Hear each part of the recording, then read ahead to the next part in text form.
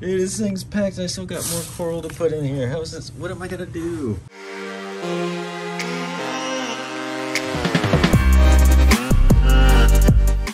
Ooh, that's some sweet candy right there, guys. So you're at this coral show, and there's a ton of candy just begging you to take them home. Only for you to realize as you're handing the cash over for this coral that you have to get on an airplane to get back home. So what do you do? Well, guys, you buy the coral. That's what you do. That's what you do. You buy the coral, and everything in this video that I'm about to go over is going to be teaching you how to safely pack them and how to safely carry them on and get through customs or uh, TSA. Ah. Ah. Regain control. Regain control.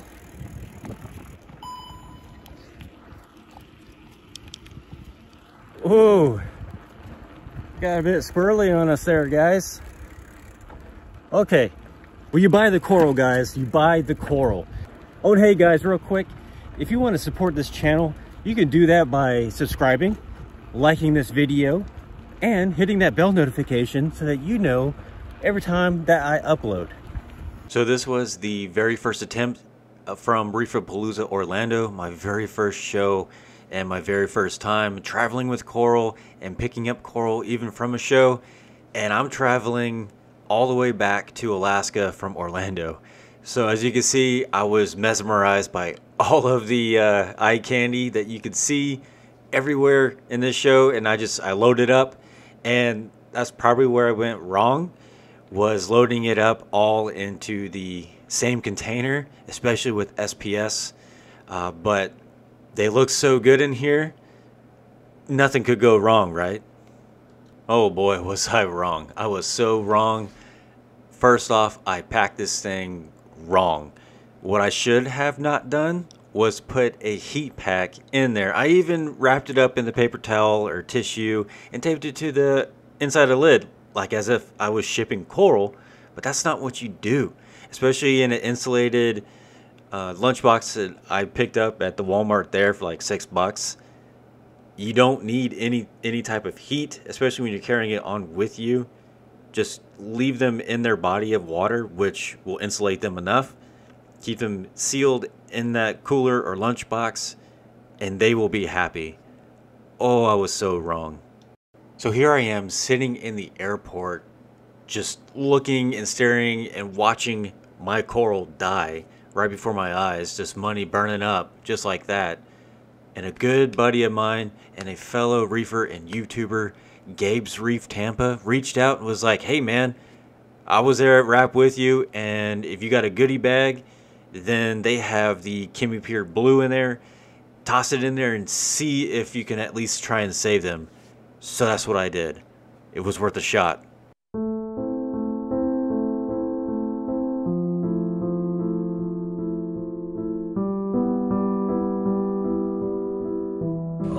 You guys, I got some good stuff. Got some good stuff. The uh, cooler is full.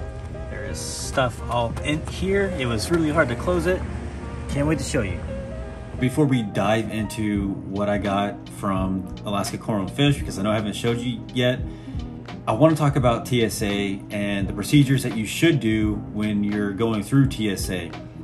First off, be kind, be courteous, be super respectful, and make sure you tell them that you want the bag or lunchbox hand checked.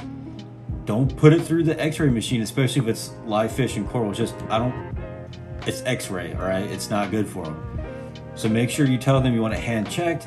Sometimes they don't know uh, what's going on. I know at Orlando they weren't very sure. I think it was their first time doing that.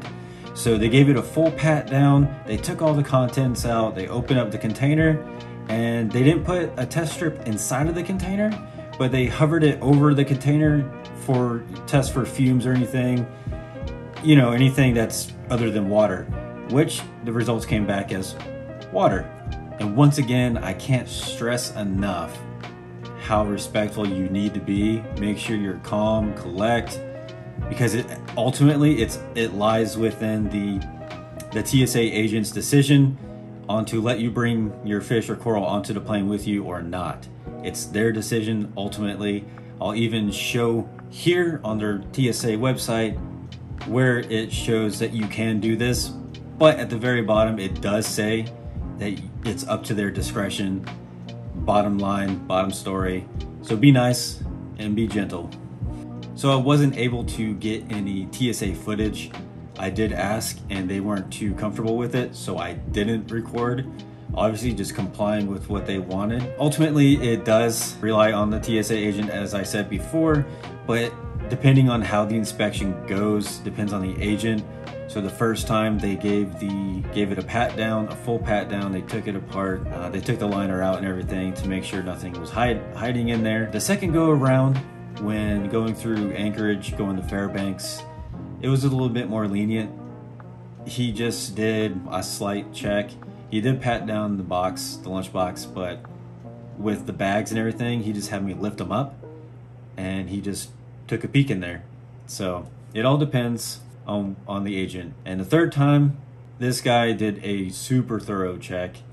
He ran everything through the machines. He even gave me a, a swab and a pat down. I had my hand swabbed just to make sure that I didn't have any type of alarming residual on my hands. Ultimately, be nice, be kind, be friendly, have a conversation, and you'll get through okay. What I'm about to put on the screen right now is taken directly from the TSA website and I'll also link it down in the description below so that you can find it yourself and read up on it.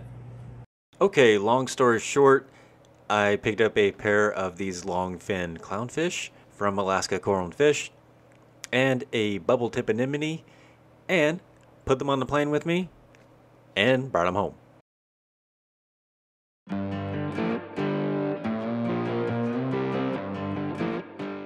Alright guys, we're to try this again Reefapalooza, New York.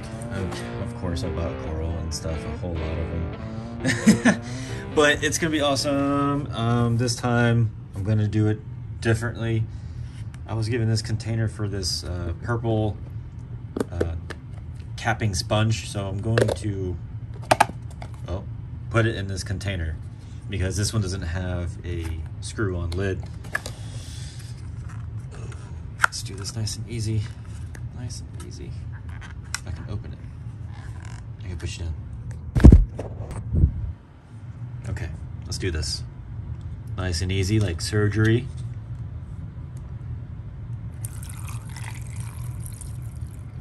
I think it's pretty cool that this is a sponge and it plates out or caps out, whatever you want to call it. So that's pretty cool.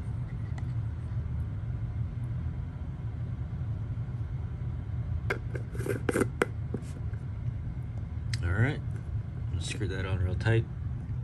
Put it in our handy dandy lunchbox. Oh man, I really hope all the coral that I got fits in here.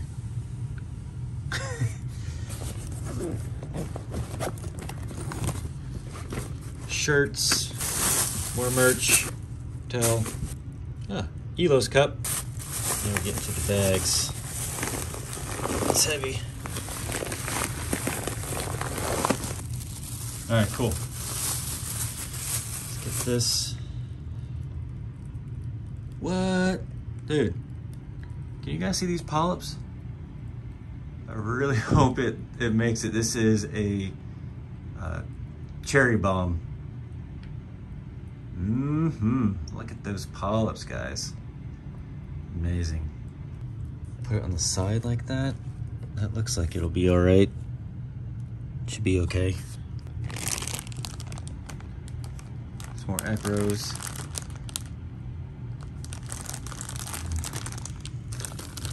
Lots of sticks, because you know me.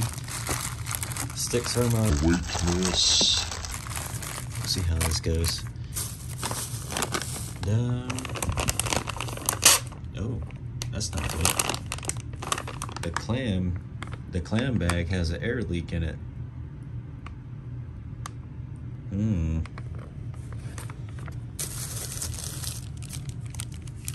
And then this is a rainbow bubble tip. It's gonna be really nice in the BioCube. Dude, this thing's packed. I still got more coral to put in here. How is this? What am I gonna do? so these corals are from the Duke. I think that's it. That's all we got. Got some snacks.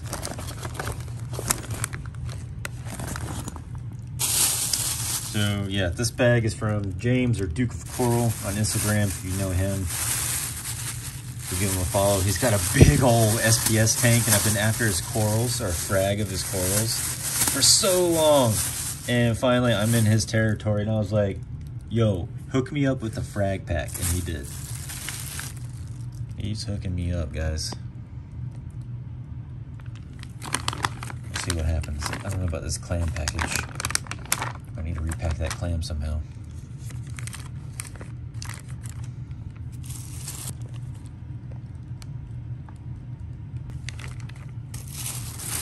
More in here.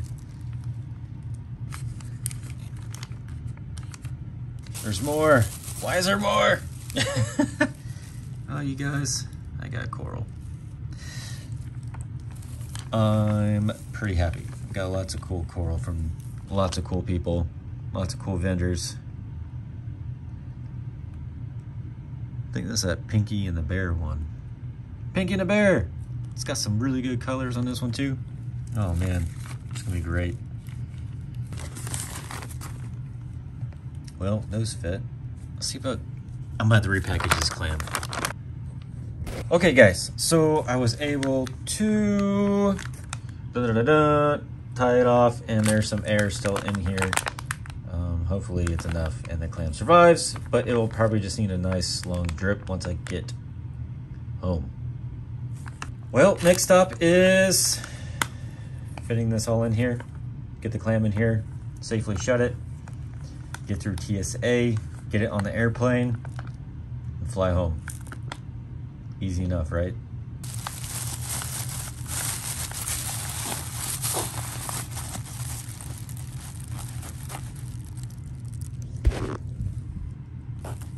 Let's go.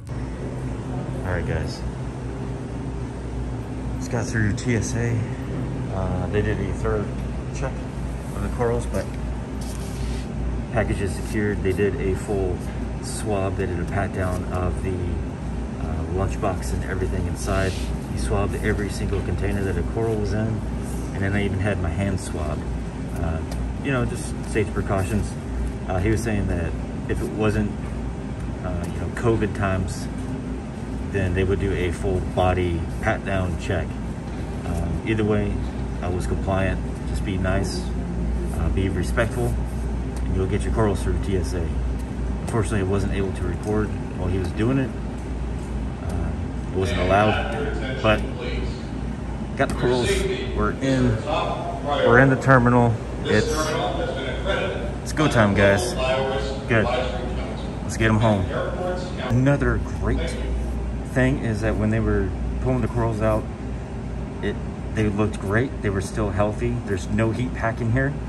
Uh, last time when I went through TSA, that's when I noticed the bad cloudy water and the corals and everything. That's where the decline started and they were dying. Um, this time it's looking a lot more promising. Awesome. Let's go and get these home, dipped and into the tank. All right, you guys, just got home. It is, what time is it? Six o'clock in the uh, evening. Uh, let's see, it's our first look. I haven't looked in here in a while. Uh, the last I did was like maybe three hours ago. A bag. Uh, oh, so far everything looks great. Got the clam in this bag. We'll look at that here in a minute. But the SPS, they look like they're uh, doing okay. Uh, I see polyps out. I don't know if you can see that. There's polyps coming out already on the SPS. See if I can get a better look. Cat's meowing at me. She's like, where you been? Yeah, they're looking good. They're looking great. See what we got here.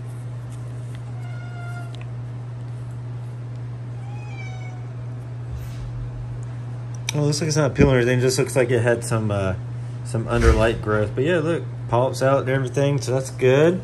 That one's good. This one's good. This one's looking good.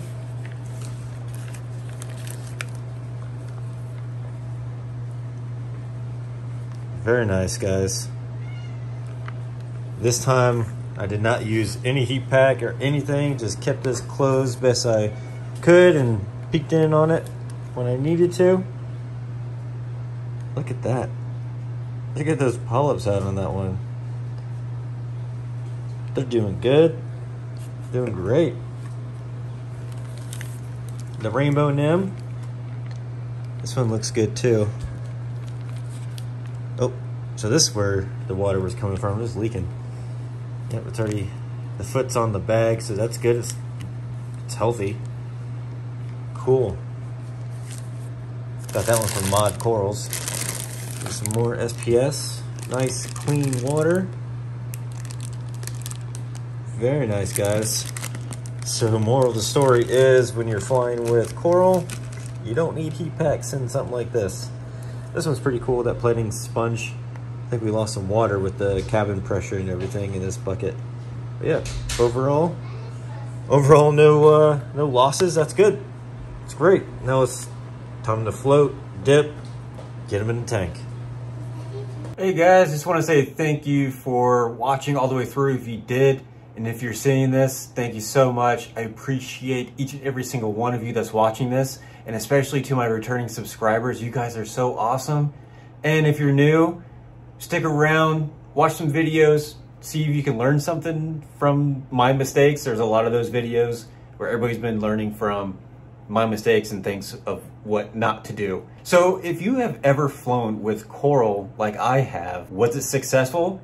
Or was it like my first time where it was a total loss? Let me know down below in the comments. I like to hear people's stories and how you travel with coral. By watching this video, you learn how to safely pack them and take them on the airplane with you, and that includes getting through TSA and getting their overall approval. Um, I do know that if you have cell phone service, you can pull up that regulation on their website or you can have it printed out. I also had it printed out just in case. Uh, it's always good to be safe than sorry. Well guys, I'll do it for this video. And remember, just reef.